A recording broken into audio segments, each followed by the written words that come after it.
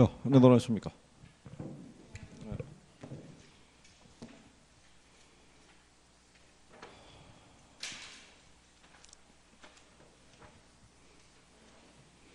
음, 오늘 392페이지 할 차례인 거예요?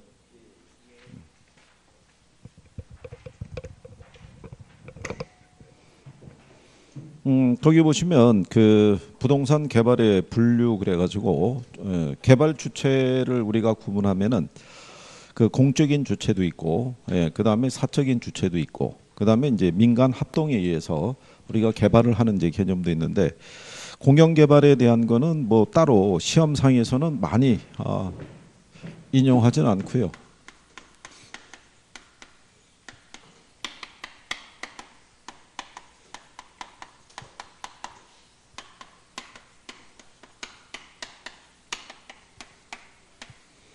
음, 여기는 이제 공적 주체에 의한 개발이기 때문에요. 일반 민간 개발에 의해서는 좀 더 계획적이고 효율적으로 우리가 이제 개발 사업을 추진할 수가 있다 이런 얘기고요. 아, 거기 보시면은 동그라미 B에 보면 예, 공공 개발은 민간 개발과는 달리 사회적 편익을 고려하는데 사회적 편익이 비용을 초과한다면 개발 사업의 타당성이 있다고 본다 이제 이렇게 구성이 되는데요. 아, 그거를 하기 위해서 뭐 하냐면 아, 우리가 줄여서 예타라고 얘기하죠. 예, 예비적 타당성 분석이라는 걸 거쳐야 돼요. 그죠? 예, 그래서 그거를 조사하는 게 뭐냐면 아, 비용 편익 비율 분석이라고 얘기를 해요.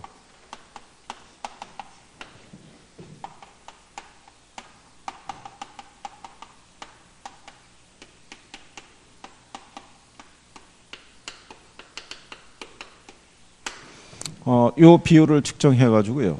이게 1보다 크면 어, 공영 개발인데 이제 경제성이 있다고 보고 사업을 추진한다라고 이렇게 생각하시면 돼요. 그래서 여기 요 비용이라는 요 편익이라는 거는 사회적 편익이 있죠. 예, 그것까지 반영하는 거고. 여기 요 비용에 대한 것도 사회적 비용을 반영을 하는 거죠. 예, 그래서 사회적 비용 대비 뭐가 크면 편익이 크면 예, 그래서 이제 이거를 우리가 측정을 할 때 예비적 타당성 분석이라는 걸 해보는 거죠. 그래서 예비적 타당성 분석을 할 때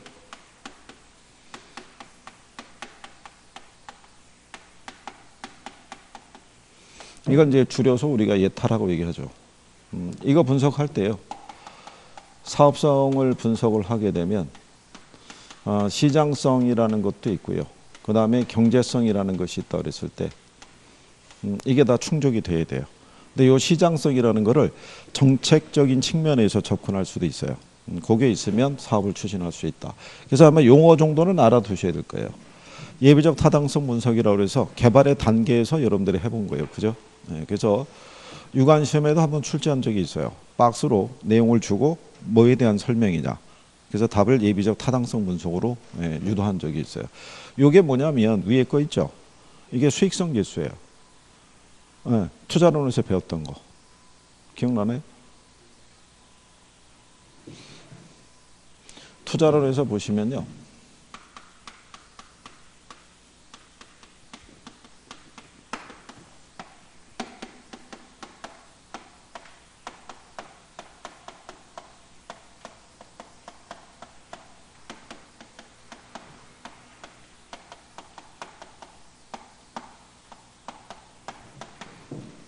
유입의 한가를 유출의 한가로 나눈 상대 지수를 우리가 수익성 지수라고 그러죠. 그래서 1보다 크면 우리가 투자한다라고 했잖아요. 그죠? 음, 같은 맥락이에요. 저게. 그래서 수익성 지수라고 표시를 하더라도 예, 똑같은 논리다라고 이렇게 인식하시면 돼요. 그죠?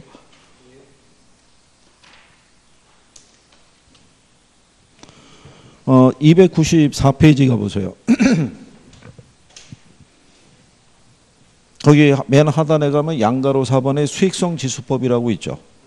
예, 거기 보면은 뭐라고 해놨냐면 자, PI 또는 B 슬래시 C 비율이라고 이렇게 해놨죠. 저기잖아요. 똑같은 거죠. 같은 맥락이니까 그렇게 보시면 돼요.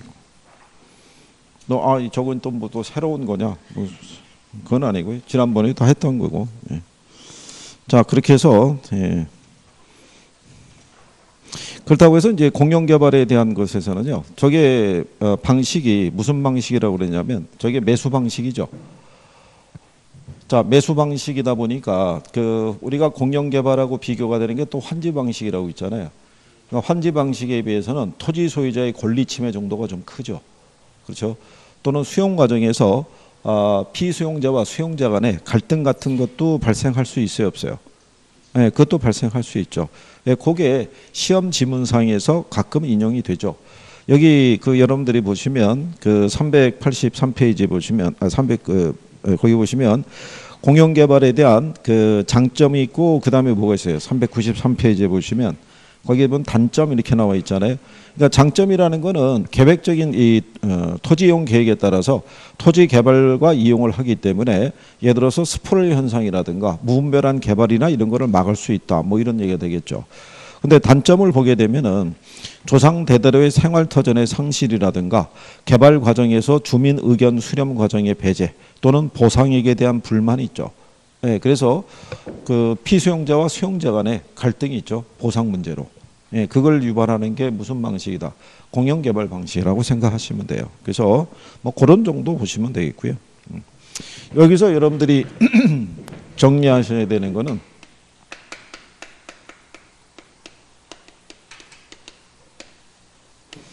어, 민간 개발에 대한 거를 정리하시면 되고 별표하시면 돼요. 저기를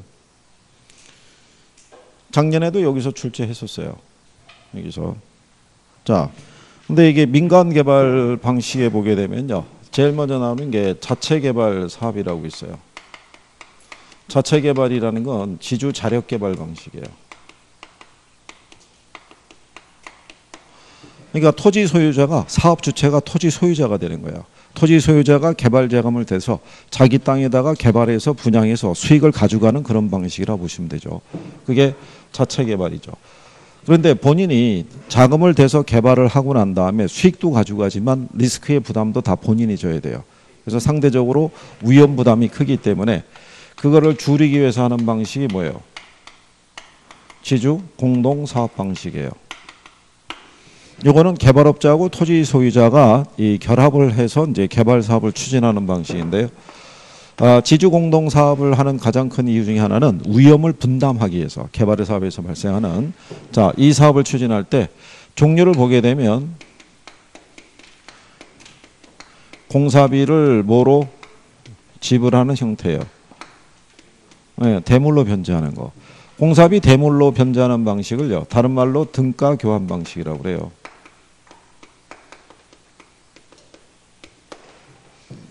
그렇죠?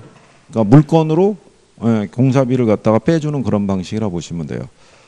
동네에서도 왜 조그만 빌라라든가 연립 건설을 하게 되면은요 거기 전기 공사나 뭐 이렇게 시설해 준 사람들에게 현금으로 주는 게 아니라 물건으로 주는 거예요.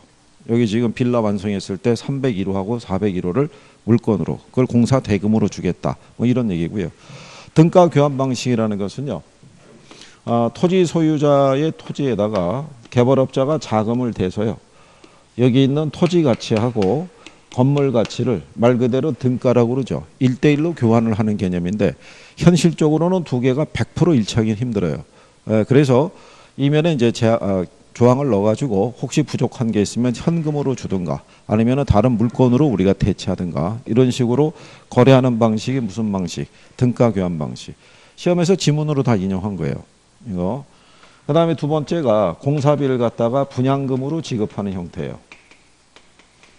이거는 제목대로 이해할 수 있죠.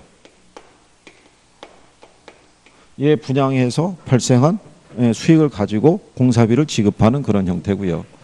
아, 그 다음에 투자자를 모집을 해서 운영할 수도 있죠. 그래서 이거는 조합 아파트에서요. 누구를 모집을 해서 조합원을 모집을 해서 사업을 추진할 수도 있고요. 여러분들이 금융에서 신디케이트라고 들어보셨죠? 네. 그러니까는 개발업자들이 투자자를 모집을 해서 그래서 또 개발 사업을 추진할 수도 있다라고 얘기한 거죠. 그렇죠? 이게 만약에 주식회사 형태를 띠면 그게 리치의 성격하고 같다라고 생각하시면 되겠고 네. 그 다음에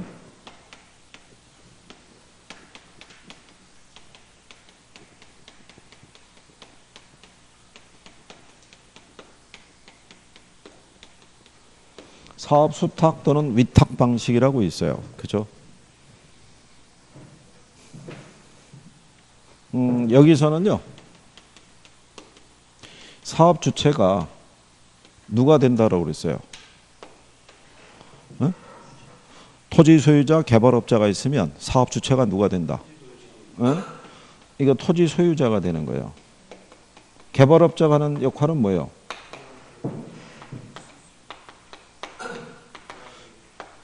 개발업자는 사업을 대행을 해주는 거예요.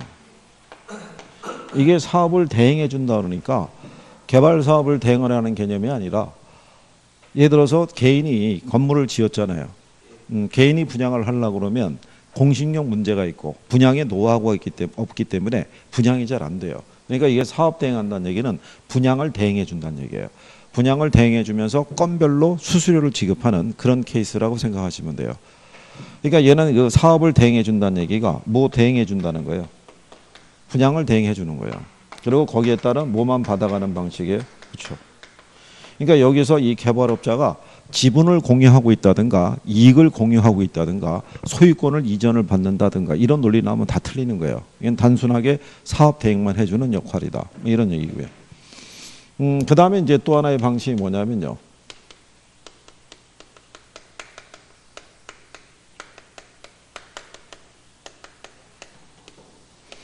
토지 신탁 개발 방식이에요. 제가 여기 민간 개발을 설명할 때는요. 제목을 일단 노란색으로 해준 다음에 안에 들어와서 다시 노란색으로 해준 애가 얘네 둘이에요. 작년에 얘네 둘 나온 거예요. 박스로. 뭐에 대한 설명이냐 이렇게 해가지고. 이거를 왜 출제자들이 선호하냐면 얘도 여기 탁이 들어가 있잖아요. 얘도 여기 뭐가 있어요. 그러니까 공부 제대로 안 한 사람은 어디선가 탁이 들어가는 걸 보긴 봤는데 명확하게 구별은 안 되는 거예요. 그러면서 틀리는 거예요. 그러면서. 그죠? 자, 토지 신탁 개발 방식에서는요. 위탁자가 있고 그다음에 누가 있어요? 수탁자. 그래서 신탁 계약을 체결을 하게 될 때 위탁자가 토지 소유자라고 그랬어요. 그리고 수탁자가 누가 되냐면 신탁회사.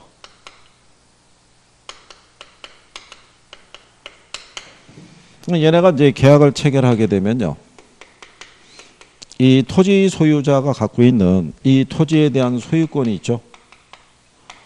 이게 형식적으로 누구에게 신탁사에게 이전이 되면 요 신탁사가 이제 뭐를 조달을 해서 건설 자금을 조달을 해서 개발 사업을 완성을 해서 분양 또는 임대를 통해서 발생한 수익이 있죠. 예, 거기에서 자기들의 어떤 개발 비용과 수수료를 공제하고 나머지를 이제 토지 소유자에게 돌려주는 예, 그런 방식이라고 보시면 돼요. 그러니까 여기서 이것도 시험에서 따로 나온 적이 있어요. 이 건설 자금의 조달과 관리 있죠. 누가 하냐 이거죠. 위탁자가 한다고 해서 틀리게 나온 적이 있어요. 그죠? 그러니까 여기 있는 토지 소유자는요. 이 토지 관계는 확실히 정리해서 넘겨줘야 돼요. 예, 토지에 대한 이 예를 들어서 어, 이거를 매입을 하거나 하는 거는 얘네가 거기까지는 관여하지 않아요. 그러니까 자 그래서 이렇게 건설 자금을 조달을 해서 운영을 하는 개념이고요. 이 방식 중에서 형식적으로는만 소유권이 이전되는 방식이 이거 하나밖에 없어요. 그러니까 그것만 별도로도 출제한 적이 있어요. 그래서 발생한 수익을 위탁자 또는 위탁자가 지정하는 수익자 있죠. 네, 수익자에게 교부할 수도 있어요. 요 수익자는 위탁자하고 같을 수도 있고요. 예, 또 다른 제3자가 될 수도 있어요. 요게 신탁 중에 보면요. 관리 신탁이라고 있어요. 예, 관리 신탁의 종류가 갑종 관리 신탁이 있고 을종 관리 신탁이 있는데 을종 관리 신탁은 명의 신탁이에요. 근데 갑종 관리 신탁은 어떨 때 쓰냐면 우리나라 사람들이 만약에 해외 이주를 나갈 때 국내에다가 부동산을 두고 갈 때가 있어요. 그러면 자기가 해외에 있으니까 관리가 어렵잖아요. 그러니까는 전체적인 관리를 신탁사에게 신탁을 맡겨버리는 거예요. 그죠? 아니면 자녀에게 예를 들어서 부동산을 물려주기는 지금 어렵다는 얘기죠. 예, 그러면 어떻게 해주냐면 소유자가 신탁 계약을 체결하고요. 수익자를 자녀를 지정하는 거죠. 그러면 그 부동산에서 발생하는 임대 수익에 대한 수익은 누구에게? 자녀에게 교부하는 그런 방식으로 그렇게 도 관리할 수 있다는 얘기죠. 그래서 어쨌든 간에 토지 신탁에 대한 것도 예, 정리는 그렇게 해주셔야겠고요. 그 다음에 395페이지 가시면 음, 거기 이제 투자자 모집형 밑에 가면 컨소시엄 구성 방식 이렇게 나와 있어요. 그죠? 그러니까 이게 순서가 이렇게 섞여 있는데 이렇게 분리시키시면 돼요. 예, 그래서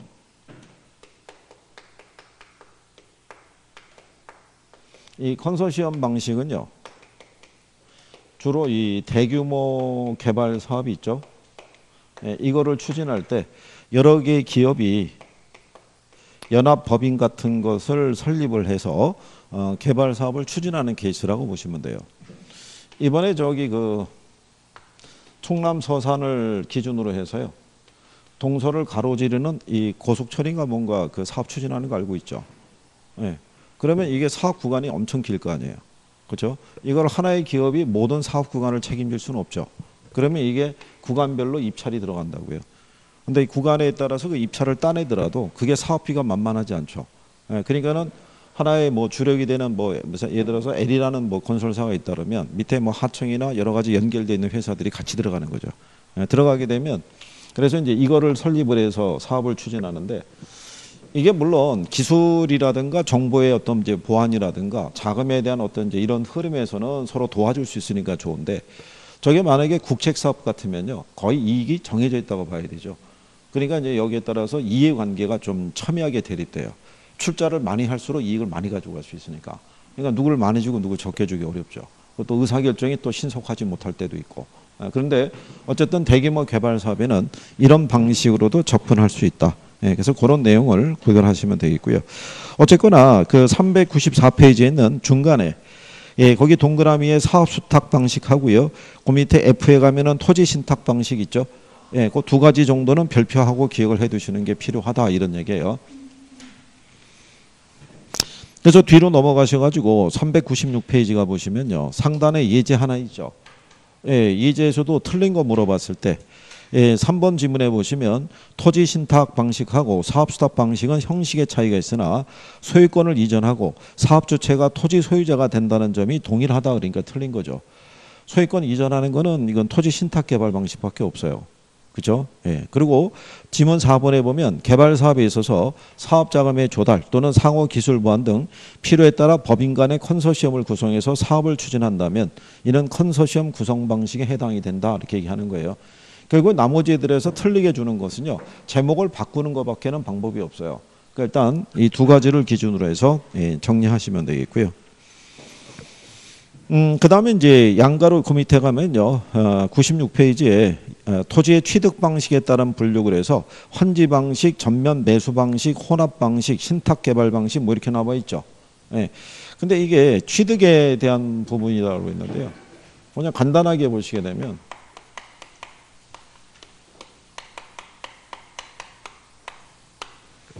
음, 요게 단순 개발 방식이라고 있어요. 단순 개발 방식이라는 게 이게 지주 자력 개발이에요. 이 방식은 권리가 불변형이에요. 어, 요거는 토지 소유자가 자기 토지에다가 자기가 건설 자금 조달해서 짓기 때문에 토지의 소유권이 변화가 없어요. 근데 그 다음에 나오는 게 무슨 방식이냐면 환지 방식이라고 있는데요.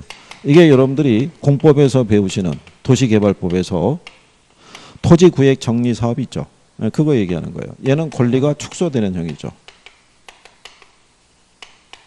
그렇죠? 환지 방식 기억하시죠? 어? 아니 도시 주변에 이거 구획 정리 제대로 안 된 지역이 있을 거 아니에요. 이런 식으로. 그러면 효율적인 이용이 어려우니까 이렇게 구획 정리해 주는 거잖아요. 이렇게. 그죠? 그럼 이렇게 구획 정리해 주면은 사업비가 들어갈 거 아니에요. 네, 그 사업비가 들어가는데 사업 주체가 이 비용 부담하지 않고 원래 토지 소유자의 면적이 만약에 천평이라고 그러면 이 중에서 일부를 떼어내는 거죠. 관보를 적용해서. 그래서 그거를 조성해서 채비지 조성하죠. 그러고 난 다음에 이제 이게 구획 정리되면은 여기 있는 이 토지 소유자들에게 이 토지를 재분배해 주는 거죠. 재분배. 그러니까 매각을 하는 개념이 아니죠. 그게 시험에 한번 틀리게 나온 적이 있죠. 근데 돌려줄 때는 건보를 적용했으니까 원래 토지 면적보다는 적게 돌려주는 거죠. 그러니까 권리가 어떻게 돼요? 축소되는 거고 권리가 축소된 부분은 땅값 상승으로 보상해 주는 뭐 그런 제도라고 보시면 되죠. 그 다음에 이제 그 밑에 그 보면 전면 매수 방식이라고 해놨죠. 음, 이게 주로 공영 개발 방식이라고 보시면 되죠. 이 방식이. 그래서 얘는 권리가 소멸되는 형이죠. 다 매수해버리니까. 그렇죠? 예. 그래서 그런 방식의 형태다라고 보시면 되죠. 그래서 여기 전면 매수 방식에 보면요. 마지막 줄에 이 방식은 권리 소멸형에 해당한다고 볼 수 있다. 이렇게 해놨잖아요. 그죠? 예. 그래서 토지 취득 방식에 따라 뭐 그런 정도로 보시면 되겠고요. 음. 그 다음에 어, 옆에 가시면은 신개발하고 재개발이 있는데요. 그 재개발 쪽에 가서 뭐 신개발 쪽에서는 여러분들에게 인용이 되는 부분은 거의 없고요.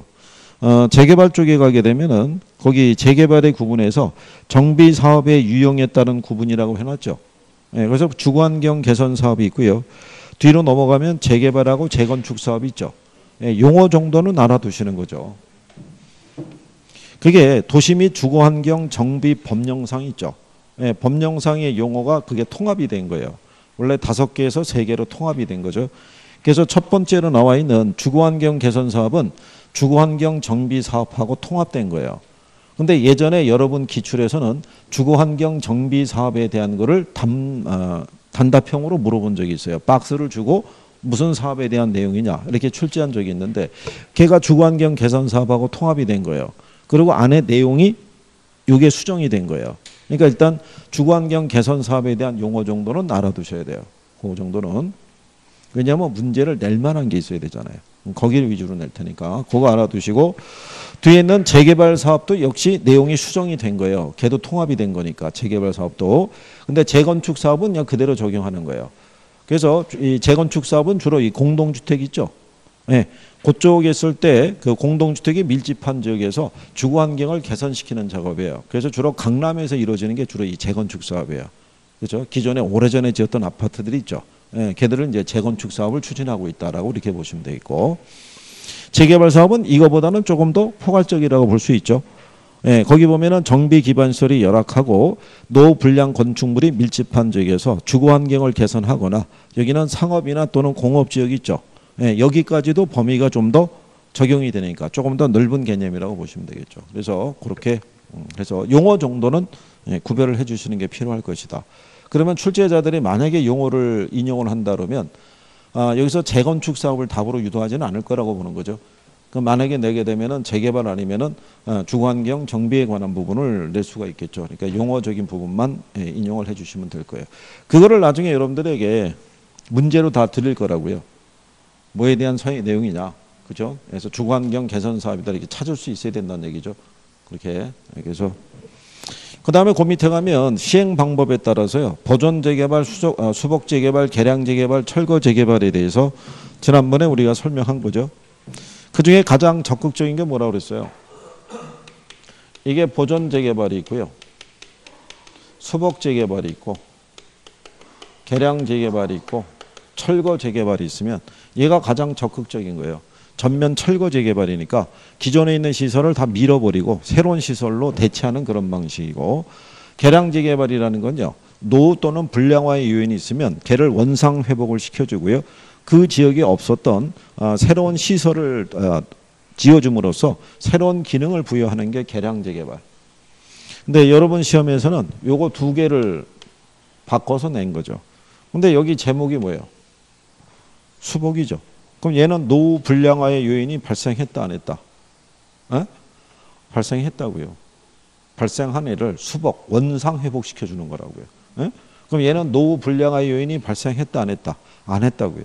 그걸 사전에 방지하기 위해서 행하는 개발이 보전 재개발이에요. 그러니까 뭐가 설명하는 거예요? 제목이. 그래서 그때 왜 보전 재개발에 대해서 설명할 때 경주의 예를 들고 설명했잖아요. 벌써 한 2년 전인가에 경주에 지진 발생했잖아요. 음, 지진 발생했을 때 많은 학자들이 깜짝 놀래가지고 경주에 이제 유서 깊은 유적이 많으니까 그래서 첨성대 가봤더니 멀쩡하더라는 거죠. 그러니까 천년 전에도 경주 지방에는 지진이 많이 발생했대요.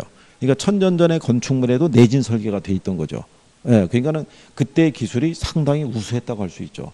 그 전에 그런데 그게 그때 당시 지진의 강도가 어느 정도인지는 모르겠으나 그때 경주에서 나온 지진에 대한 거는 뭐 수도권까지도 그 울림이 전달이 될 정도였으니까 예, 그래서 어쨌든 간에 그게 나중에 또 더 큰 규모의 지진이 발생하면은 파손이 될 수도 있잖아요. 그러니까 그거를 막기 위해서 보강 장치를 해놓는 거죠. 문제가 있는 건 아닌데 예, 혹시 나중에 있을 어, 어떤 문제를 아, 미리 막기 위해서 그죠? 그렇게 하는 재개발이 무슨 재개발? 보존 재개발 이런 얘기예요. 그래서 보존 재개발은 주로 역사적으로 왜 보, 어, 보존할 만한 가치가 있는 왜 유물이 많은 밀집된 지역이 있죠. 예, 그런 지역에서 보존 재개발하는 거예요. 그래서 경주 지역은 함부로 자기 소유의 부동산이더라도 손을 댈 수가 없어요.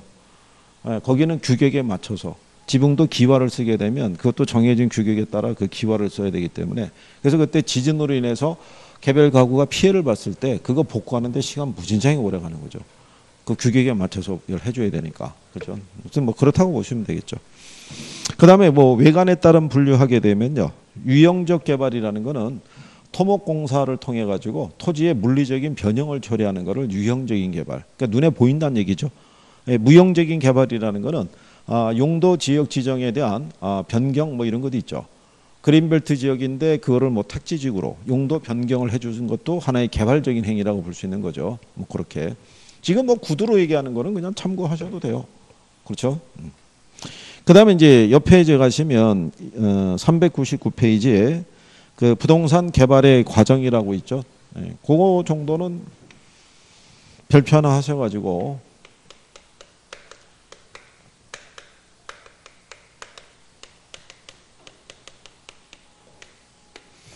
아, 부동산 개발의 단계하면요. 우리가 몇 가지 그때 얘기했었어요.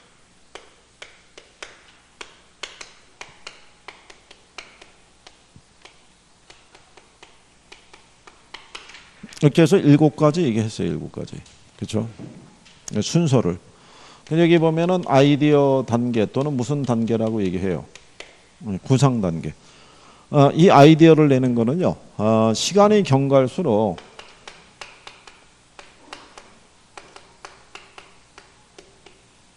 이 사회적 수요에 어떤 욕구라는 게 있어요. 그죠? 여기에 대응을 하기 위해서 거기에 맞는 공간을 우리가 기획을 하는 것을 아이디어 단계라고 생각하시면 돼요. 그죠? 네. 그러니까 들어서 이런 거죠.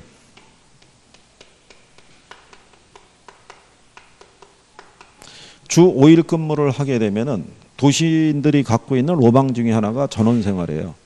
예, 그래가지고 좀 여력 있는 사람들이 서울 근교에서 뭐 양평이나 가평이나 예를 들어서 한 1시간 내외 거리에서 움직일 수 있는 곳에 전원주택 약간의 어떤 별장 개념으로 뭐 이 부분에 대한 소비가 어떻게 돼요? 음, 좀 늘어났다는 얘기죠. 그러면은 아 이게 필요할 수 있을 것이다. 그럼 거기에 맞는 것에 대한 부지 확보하고 이렇게 사업을 또 추진할 수도 있고요. 고령화 시대라고 그래가지고요. 예, 여러분들 알고 있는 왜 우리가 펜션이라고 얘기했었죠. 이게 펜션이라는 의미는 연금이라는 뜻이에요.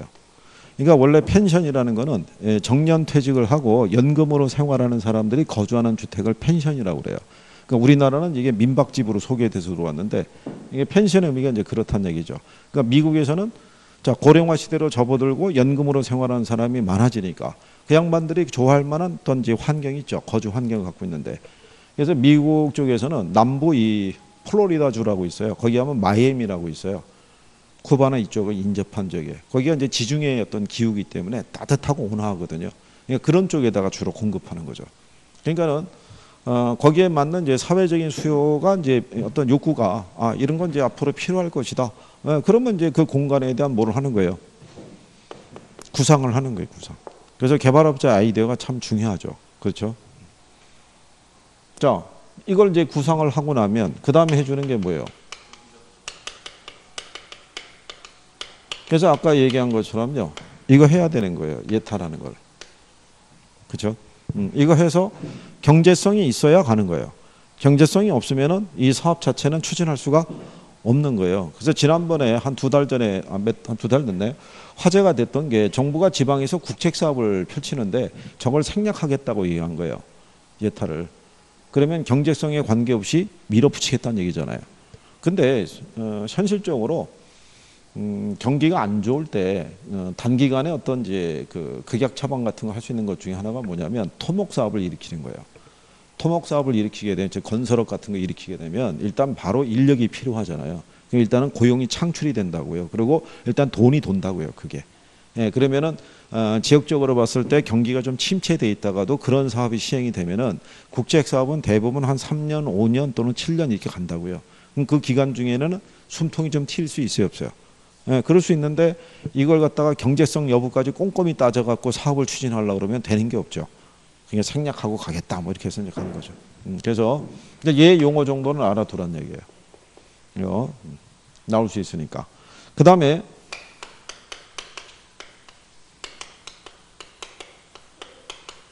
이 부지 모색 및 확보 단계가 있는데 개발 사업의 성패는 여기에 달려 있다고도 볼 수 있어요. 어, 그게 개발 사업에 적합한 부지가 확보가 될 수 있느냐 아니냐가 중요하죠. 그렇지 않겠어요? 저기 현실적으로는 저런 문제가 많이 부딪혀요. 어, 여기 있는 토지 소유자를 설득해서 이 땅을 매입을 해야지만 어, 주변에 매입한 땅까지 합쳐가지고 어떻게든 해볼 수 있을 텐데 저 땅이 매입이 안 되면 기존에 매입한 땅은 맹지가 될 수도 있는 거예요. 그러니까 어쨌든 간에 그 땅을 매입을 해야 되는 경우가 필요할 때도 있고 그러면 이제 토지 소유자는 갖가지 뭐 옵션이나 뭐 요구 조건이 많죠. 예. 근데 또 좋은 방법 중에 하나 뭐냐면 토지 소유자를 투자자로 끌어들이는 거예요. 그래서 현금으로 내는 건 아니고 현물로 출자하게끔 유도해가지고 그래서 뭐 확보하는 게 중요해요. 부지 확보하는 게 중요해요. 지금 제가 얘기하는 거는 간단하게 얘기하는 건데 실전은 되게 복잡한 거예요. 이거 내용이 분량도 방대하고요. 그러니까 저희가 내용을 자르는 거예요. 예를 들어서 그 프로젝트 금융에서도요. 음, 일정한 요건을 갖추면 프로젝트 회사는 세제상의 혜택을 볼 수 있어요. 그 말이 무서운 거예요. 일정한 요건이라는 게. 그 요건을 갖추는 그 과정이 되게 복잡하다고요. 그러니까 그것까지는 해봐야 머리만 아프다고 그러니까 그냥 그렇게만 해서 여러분 시험에 출제한 거예요. 그게 작년에도 나온 거죠. 그 다음에 이제 타당성 분석해요. 얘는 좀더 구체적으로 하는 거예요. 여기 있는 예비적 타당성 분석은요. 계략적으로 대충 판단한다 그러면 얘는 좀 더 구체적으로. 그래서 이쪽은 법률적, 뭐 기술적, 경제적 타당성 분석을 다 하는데 뭐가 제일 중요하다 그랬어요. 음, 이게 제일 중요한 거예요. 그런데 타당성 분석의 결과는 모든 개발업자에게 동일하게 적용이 된다 안 된다. 안 된다는 거죠. 그렇죠? 예. 그래서 타당성 분석으로서 나온 결과는 아, 이게 비록 동일하다고 할지라도 개발업자에 따라 채택될 수도 있고 그렇지 않을 수도 있다라고 얘기한 거예요. 얘도 시험에 한번 나온 적이 있어요. 얘가 제일 중요하다 그래서 틀리게 한번 나온 적이 있고, 그죠? 그 다음에 지금 썼던 그 지문이 있죠. 예, 그게 이제 지문으로 활용한 적이 있어요. 자, 여기서 경제성이 있다고 판단이 되면 금융 단계로 가죠. 그러면 여기서 이제 뭐를 조달하는 거예요? 부동산 개발 금융이 있죠. 예, 이거를 조달하기 위해서 앞에서 배우셨던 프레이트 금융 뭐 이런 것 등을 통해서 자금을 조달하는 케이스죠. 그러고 난 다음에 이제 시공사를 서쳐, 어, 거쳐서 선정해서 건설 단계를 들어가고요. 아, 마케팅 단계는 이건 사업 초기부터 하는 거라고 그랬었죠. 순서가 마지막에서 그렇지. 마케팅에 대한 기획은 구상 단계에서부터 이어지죠. 그래서 경기가 좋을 때는 뭐를 추진하고요. 분양. 경기가 안 좋을 때는 뭐를 추진할 때, 임대를 추진할 때 이때 중요한 게 이제 예 확보하는 게 중요하다는 얘기죠. 중요 임차자. 그죠? 왜 여러분들이 그런 거 못 느끼셨나요? 상가나 거 분양할 때 보면요. 뭐뭐 입점 확정 뭐 이런 거 막 붙여 주잖아요. 예, 물론 이게 이제 사람들이 선호한다는 것도 있지만 그 안에 이제 랜드마크 역할을 할 수 있는 게 있다라는 것을 보여줄 수 있어야 된다는 얘기죠. 그렇잖아요. 거기에 만약에 뭐 스타땡땡 커피 전문점이 입점하기로 어, 결정했다는 얘기는 일단 그 건물을 찾는 고객의 숫자가 늘어난다고 봐야죠. 그러니까 고객을 이렇게 끌어당기는 능력을 갖고 있는 애들을 중요 임차자라고 보시면 돼요. 그래서 1층에 은행이 있고 없고가 또 중요해요. 1층에 은행이 있으면 무조건 찾아오는 거죠. 거기 이용하기 위해서. 그러니까 우리 이 학원 건물을 소개할 때 이게 랜드마크 역할을 하는 게 없어요. 이게. 제가 여기 처음에 그 대전에 왔을 때 작년에 여기 처음 와봤는데 시청역 8번 출구로 나오면 있다는 거예요. 8번 출구로 나오는데 아무리 봐도 이 이게 없는 거예요. 네. 여기 길에 보면 양쪽 출입구 쪽에 이렇게 플랜카드 이렇게 가면서 세워놨는데 음, 그게 이제 그때 도저히 못 찾는다 그래가지고 학원 측에서 양쪽에 하나씩 만든 것 같은데 알 수가 없어요. 아무리 봐도 이 건물 안에도 들어와 봤다니까요. 어, 들어와 봤는데 뭐 잘 찾지는 못하겠고 해서 나가가지고 전화했더니 여기라는 거예요. 네. 그래가지고 근데 만약에 여기 1층에 은행이 하나 있다고 생각해 보세요. 시청역 8번 출구 나와서 무슨 은행 건물 5층입니다. 그러면 알아서 찾아와요. 더 이상 전화 안 한다는 얘기죠. 그런 역할이라고 보시면 돼요. 자, 그래서 개발의 단계 여기까지 예, 정리했고요. 시험상에서도 가끔 인용하니까 구별하시면 되는데 자 뒤로 가시면 개발에 따른 위험이라고 나와 있죠.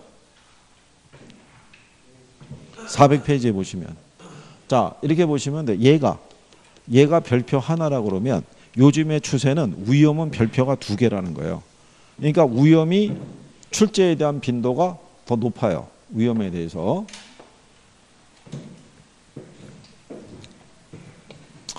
자, 그러면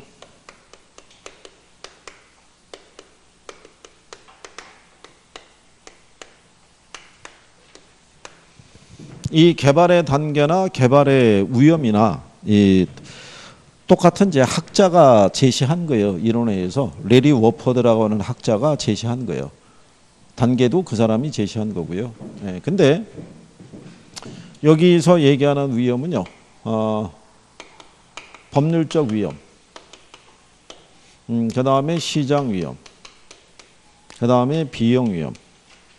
요거 세 가지만 대표적으로 제시를 했는데 실제로 위험의 종류는 이거보다 더 많이 있어요. 그죠? 근데 여러분한테 근래 출제하는 거는 뭐를 출제하냐면 가령 예를 들어서 개발 사업을 추진할 때 시행사라든가 시공사 있죠.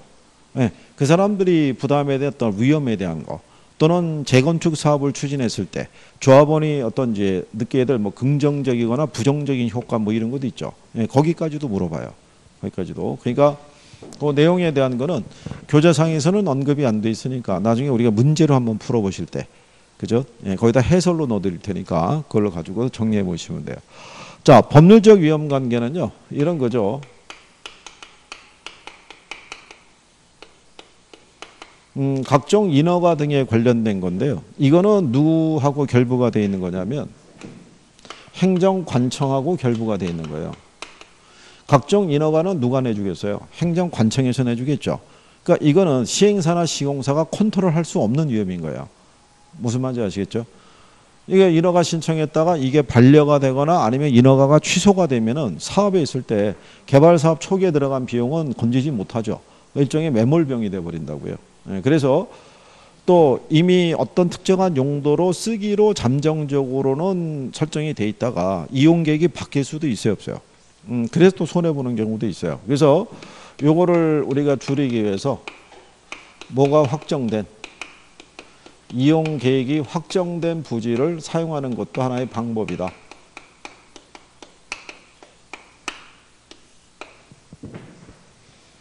그래서 이제 그런 부분에 대한 것도 음, 중요하죠.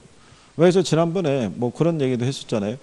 왜 공원 일몰제라고 그래서 한번 소개해 드린 적도 있었죠. 지난번에 강의할 때.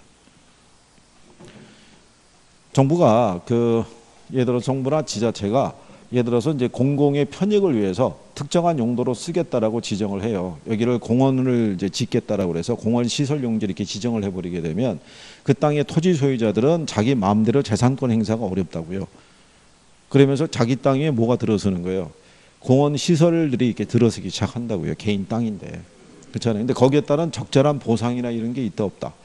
없죠. 그래가지고 1999년에 공원 일몰제라고 그래서 10년의 기한을 준 거예요. 10년의 기한까지 그 공원을 쓰든가 네, 사용 공원을 쓸 것인지 아닌지 결정을 해줘야 돼요. 그래서 만약에 그때까지도 공원 사용에 대한 부분을 정하지 못하게 되면 거기에 있던 시설 다 철거하고 토지 소유자가 마음대로 재산권 행사할 수 있도록. 네, 그게 이제 올해 들어오는 거 아니에요. 그 여기 대구도 보니까 저기 그 대전도 보니까 올라올 때 예, 지날 때 보니까는 그 공원에 대해서 뭐, 뭐 플랜카드 붙고 난리가 났더라고요. 여기뿐만이 아닌 거예요. 이게 지자체별로 지금 난리 난 거예요. 왜냐하면 이게 공원이라고 시설용 지정해 놓으면 이게 이 시민들이 이용을 하고 애착이 가고 이게 추억이 담겨 있는 장소인데 이게 안 되면 다 철거해야 돼요. 그럼 걔는 이제 이 땅 쪼개서 팔아버리는 거죠, 그냥. 그럼 끝나는 거죠, 그게. 예, 그래갖고 이게 근데 전국에 있는 저 공원 시설 용지로 지정된 데가 저기 굉장히 많대요. 그러니까 저거 다 만약에 사드리려고 그러면 비용이 천문학적인 비용이 들어더라고요. 뭐 40몇 조? 뭐 이 정도 들어간다는 거죠. 음, 그래서 어쨌든 전국에 이제 이런 땅들이 많이 있어요. 그죠? 자, 어쨌든 그런 내용이죠. 그래서 이 법률적인 위험은 아, 시행사나 시공사 입장에서는 피할 수 없는 위험이에요. 그래서 이용객이 확정된 부지를 사용하면 그나마 위험을 조금 줄일 수 있다. 뭐 이런 얘기고요. 시장 위험이라는 건요. 아, 갑작스러운 아, 경기 침체로 인해 가지고요. 분양이라든가 임대가 저조할 수 있어요, 없어요? 어, 그러면 원래 내정했던 분양가보다 싸게 분양을 할 수밖에 없는 예, 그런 상태가 발생할 수 있죠.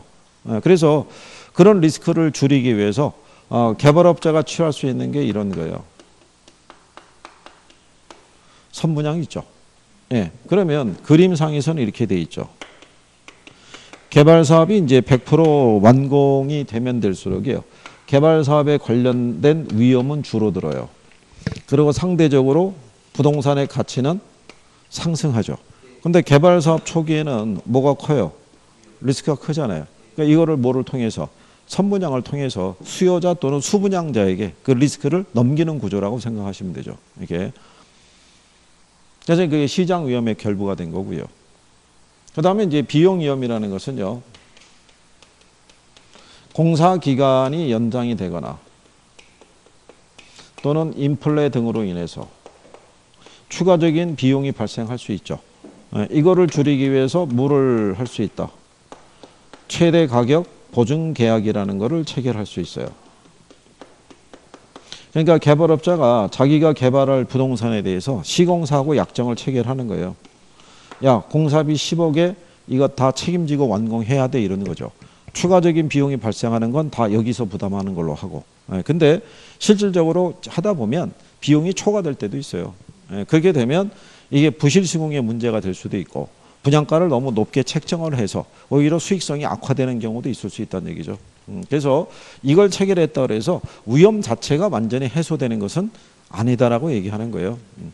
근데 여기에 이제 나중에 여러분 시험상에서 보시면 사업 위험이라고 그래가지고 어, 예를 들어서 어, 매장 문화재가 출토되는 경우 있죠. 네, 그런 걸 사업 위험이라고 얘기를 해요. 땅 속에 뭐가 있는지 우리는 알 수가 없잖아요. 그렇죠? 네, 근데 또 무슨 위험도 이 안에 속해 있는 게 있냐면 자 건설을 하기 위해서는 자금이 필요하잖아요. 그러면 금융기관에서는 대출해 줄 거 아니에요. 근데 개발 사업이 잘못되면 금융기관에서는 대출금 회수하지 못할 수도 있어요, 없어요? 어, 있겠죠. 그런 식의 좀 더 여러 가지의 위험이라는 게 존재를 해요. 예, 그러니까 그런 것들에 대해서는 나중에 지문으로 우리가 예, 정리하시는 걸로. 왜냐하면 여기 없는데 예, 그거를 여기다 막 적어봐야 그게 뭐 부작용만 초래하지 않겠어요? 그렇죠? 지금 있는 것도 간신히 우리가 하고 있는데 그렇지 않겠어요? 표정은 뭐 오늘 나온 것만 해도 굉장한 일을 하고 있는 거잖아요. 그죠? 과장 2000년 왜안 나왔어? 뭐 어떻게? 독감? 아니 어떻게 이 학원은 젊은 친구들이 어떻게 몸이 안 좋다는 거예요?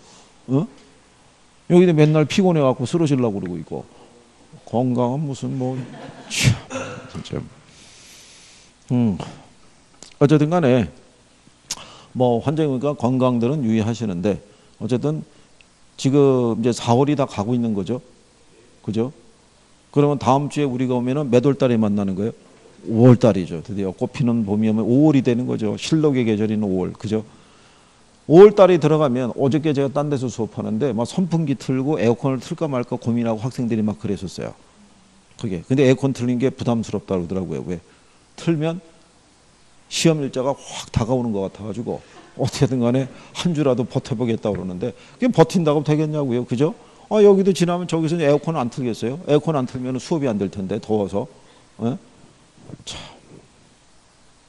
합격은 해야 되겠고 공부는 하기 싫고 참 그렇죠. 에? 이 바닥에 왜 들어왔는지 참 후회만 가득하고 에? 한 방이에요. 얼마 안 남았어요. 자 어쨌든 여기 나중에 보시면 개발에는요 제가 이렇게 별표 해가지고 제목 달아준 애들이 몇 개 없어요. 예, 고기 정도 정리해 두셔도 무난하게 포인트를 딸 수 있어요. 일단 그렇게 생각하시고 자 거기 402페이지에 가면 부동산 개발의 타당성 분석이라고 있죠. 예, 여기도 별표는 하나 해드리는 게 뭐냐면 그러니까 예를 들어서 이런 거예요. 여기 이 개발의 단계가 있고 예, 그 다음에 이제 개발의 위험이 있고요. 여기 보면 이제 민간 개발 이런 게 있었을 때 여기서 지문 하나씩을 발췌해 가지고 오지 선다를 낼 때가 있어요. 예, 그래서 이제 기본적으로 활용하는 애들은 제목상에 별표를 해주는 거예요. 근데 그 안에 세부적으로도 표시가 나온 애들은 또 안에서 세부적으로 해주는 거고. 근데 이 근래 출제 빈도가 높으면 별표가 한 두 개 되더라. 뭐 이런 식으로 얘기해 드리는 거예요. 그런 거 위주로 잘 정리하시면 돼요. 자, 잠깐 쉬었다가 예, 거기서부터 하시죠.